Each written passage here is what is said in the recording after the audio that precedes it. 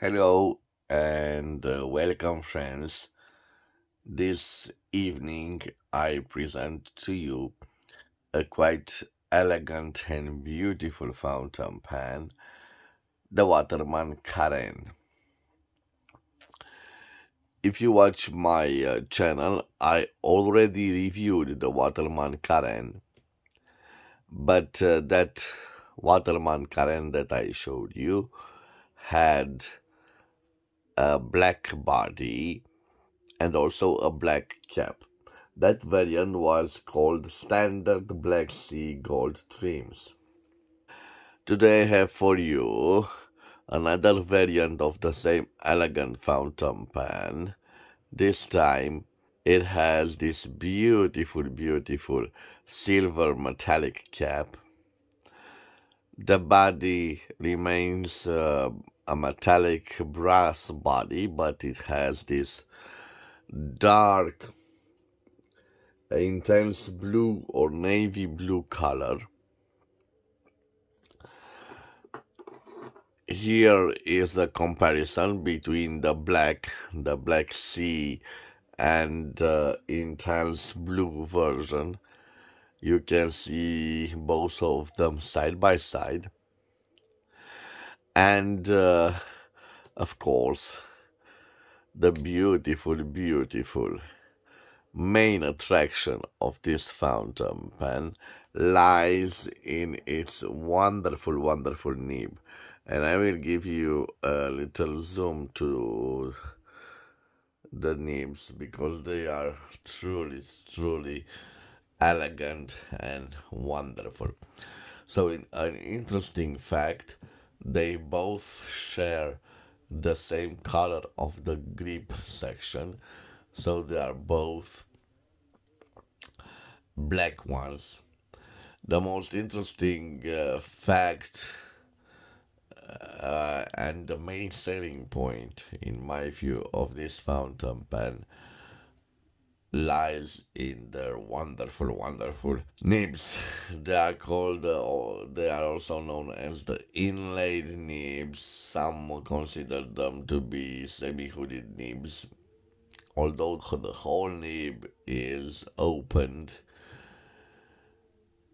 Some people consider them uh, an unfinished nibs. So if uh, it were the nib were till this part, it will be considered an open nib. But I love the design, it's a dynamic design. It's like uh, the name, like the French name suggests, Carene. It's like the body of a ship that uh, navigates through the sea. So uh, if you put them like this, you can see their wonderful, wonderful bodies. Speaking about the bodies, on the back of them where on usual fountain pens. We can see the feed. This time we have a hidden feed. We have a big breathing hole and you can see thermically imprinted the size of the nib right near the breathing hole. So we both have an M nib what is interesting about uh, those fountain pens, and I will show them to you right now. So, this is our standard Black Sea with gold trims. And I will take the cap of uh, the other one to see, yes, we have a perfect match like I was uh, expecting. And now the fountain pen is transformed from a standard Black Sea Gold with a deluxe black version. So this is the deluxe black version. And it reminds me of a wonderful, wonderful fountain pen from Montblanc. This is the Meisterstück 146 Due with a silver cap. Of course, the cap of the Waterman, to my knowledge, is it is not silver. and there are differences between the two fountain pens in the sense that the body of the Meisterstück is precious resin or precious plastic and the body of the Waterman is brass, it's a metallic fountain pen covered in this black lacquer. And the similarities stop at the way they look. Of course, our Waterman is um, has a cartridge filling mechanism or a ink converter filling mechanism and this has an integrated piston. This has a wing ink windows and the other one doesn't need to have ink windows.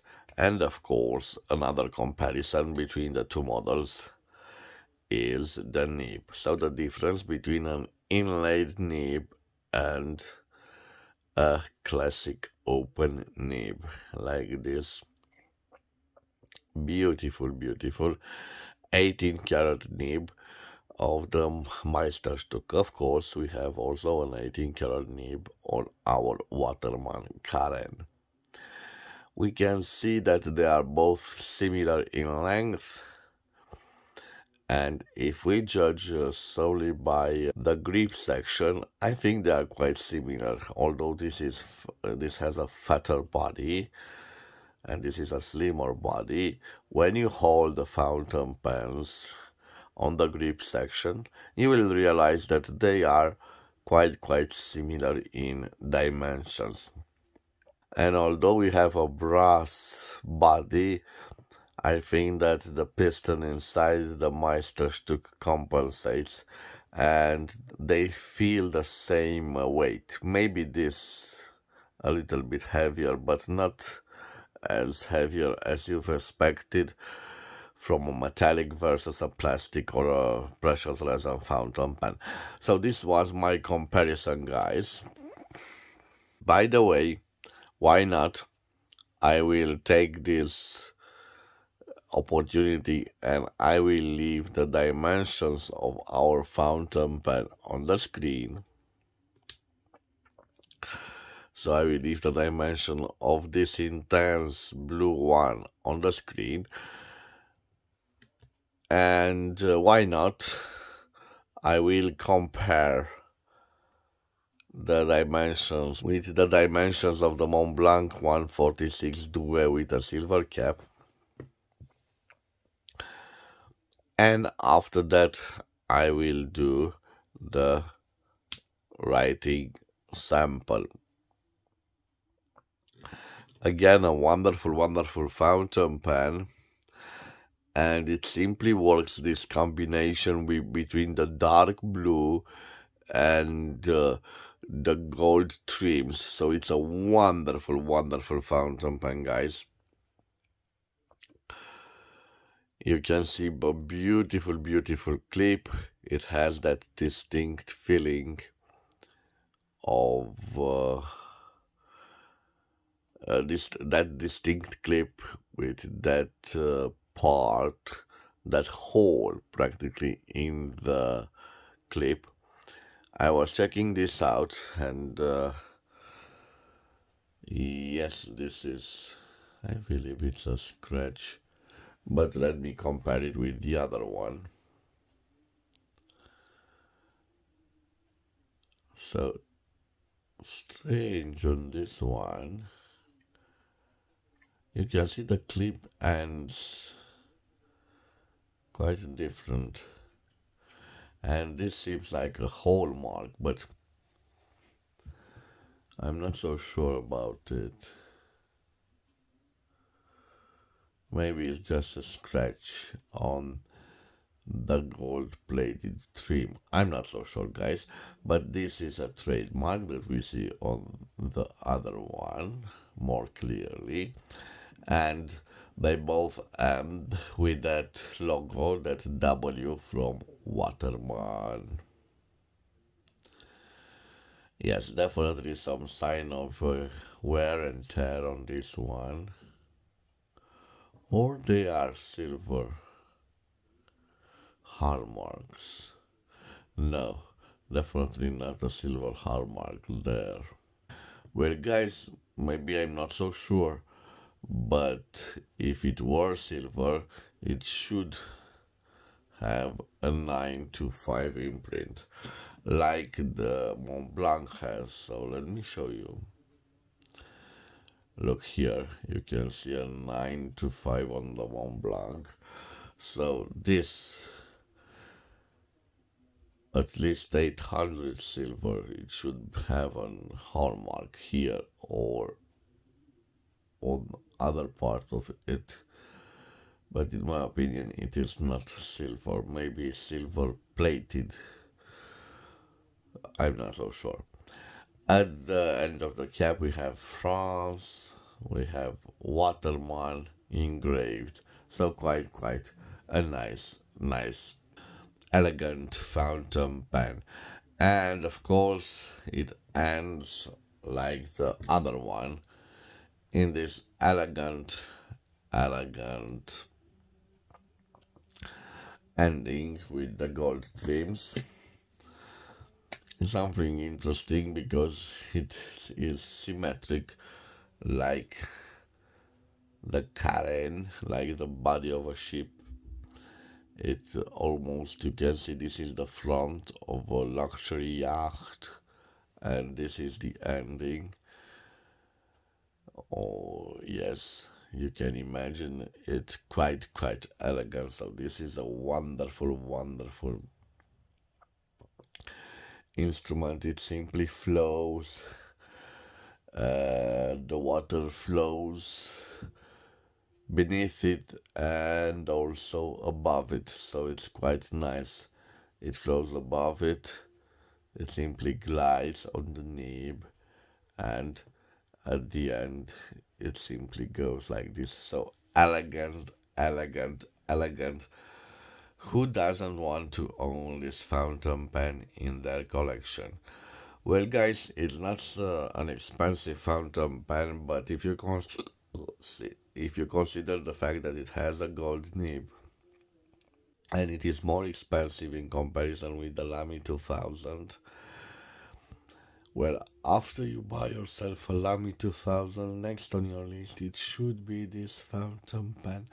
The only flaws I could see in my online research was um, a little bit of a problem relating the ink flow, and some of them um, they uh, tend uh, when they are posted to leak some ink. This isn't the fact of all the models. And some people says the, that if you use uh, ink cartridges the problem will be over. So instead of ink converter use ink cartridges. Well this model doesn't have the ink cart uh, doesn't have the ink converter so it's fitted with an ink cartridge. But I have the ink converter on uh, this other model since now it doesn't uh, seem to present that problem but um, this is the ink converter and you can see it's an original Waterman ink converter. So it's simply a matter of, I think, of pressure that pressure that uh, the ink is um, flowing from the vessel from a cartridge or an ink converter to the nib so it appears that the ink converter uh, has a little bit of pressure and uh, the ink tends to flow excessively when it reaches the nib section. We will see about that when we will do the writing sample. I hope it will be everything okay. So guys, this is the only problem with this fountain pen Um, maybe it's a matter of just taking the right steps on equalizing the ink flow. I'm not so sure, but you will see that in this case it will be everything all right. I used it for a couple of days and I had no problems with the ink flow. So I'm ready for testing it. Before I will test it, I will change the angle of the camera. So I've changed the angle of the camera. Let me see, maybe a zoom will be in order here. Okay. I will show you this fountain pen definitely posts. You can post it. But uh, as I'm looking inside of it, it doesn't have that protective plastic part.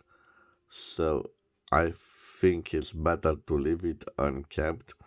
By the way, guys, this is a pressure fit cap. And it's quite ingenious. It reminds me of the Lamy 2000 because it has those little metallic parts here and here you can see that ensure a quite tight fix. And they have the click sound. Okay.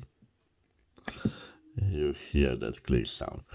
Now I'm ready for the writing sample with this gorgeous gorgeous 18 karat 750 gold nib. By the way, guys, as the engraving, as the imprint on the back, it we have an M nib. So let me zoom out a little bit. We have a Waterman.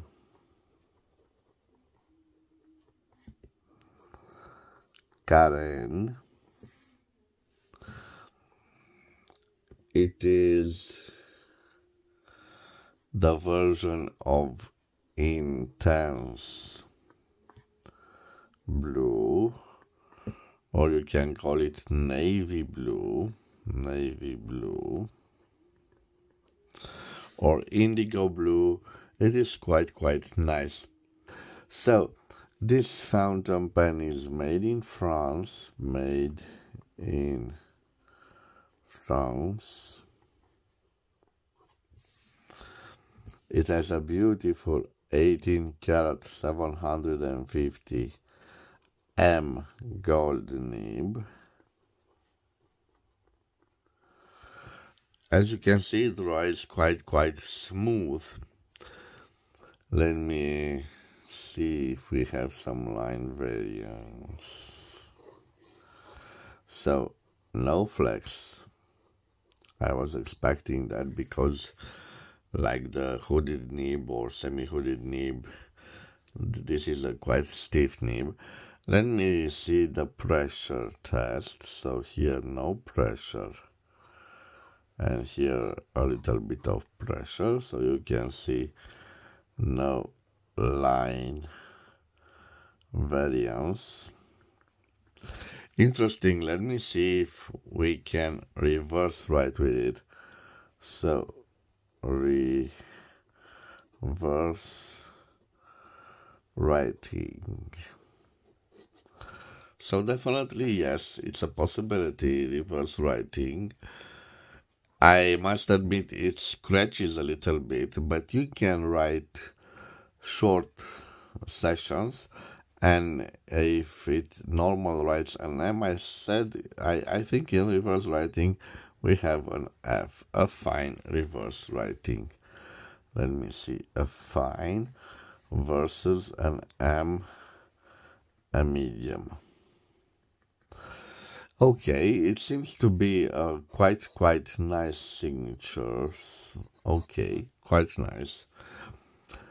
Let me see how juicy it is. It appears to be a quite juicy fountain pen. You can see. Nice, nice. I like it a lot. This nib seems to be quite, quite nice. And now it is time for me to tell you about the quick brown fox jumps over the lazy dog. As you can see quite quite a nice nice writer. So guys what can i tell you an elegant elegant piece made by waterman it is still in production so this means that it is quite quite a nice fountain pen of course after the carene on my wish list it's the edson from waterman I believe I spell uh, I pronounced it correctly. It is not uh, in production. Uh, it has also an interesting interesting nib, and uh, it's quite expensive. But I hope that I will uh, be able to add it to my collection. So guys, this was my review of another Waterman Carene, another configuration of the Waterman Carene. I uh, liked it a lot. And I must tell you uh, the wonderful price because uh, I'm sorry, guys, you are used to have transparent reviews on this channel, so I'm not hiding that I bought this fountain pen at a steal. So I paid for it around 400 uh, lays or with shipment, let's say um, let's say approximately 100 euros less than 100 euros so 90 euros. And uh, let's call it uh, 113 american dollars. So i did uh, quite quite nice. Considering that a new one it is um, i believe it's uh, the price of a new one is um, around 300 euros approximately. I'm not so sure guys. Maybe you will tell me in the comments. But uh, quite quite a nice fountain pen. Does it deserve this price tag in comparison with uh, the 200 euros of a lamy 2000 in my opinion, yes, the Lamy 2000 is a wonderful, wonderful fountain pen, and it will be my first first choice.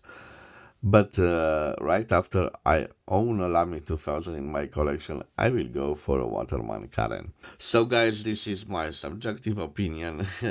you can agree with it or uh, maybe I'm wrong. It's uh, just a matter of taste. I simply love this inlaid nib. I think it is gorgeous. The whole shape of the fountain pen is gorgeous. Of course, it would be a perfect fountain pen. This is a strange notion because you will see when you have lots, lots of fountain pens, you can see this is a well-made fountain pen, but never, never say it's a perfect fountain pen. In my opinion, if it were a piston filler, it would be even a better fountain pen. But it is what it is guys.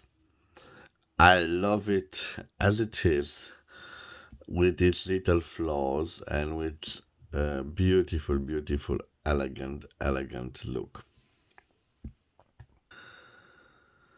This was my review. I hope you've uh, enjoyed it.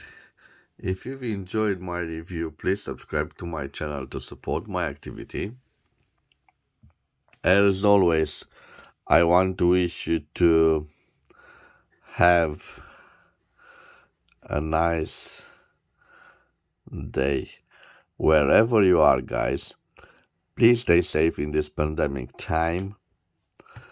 Of course, we will see each other on at the next episode. Till then, uh, bye bye and God bless.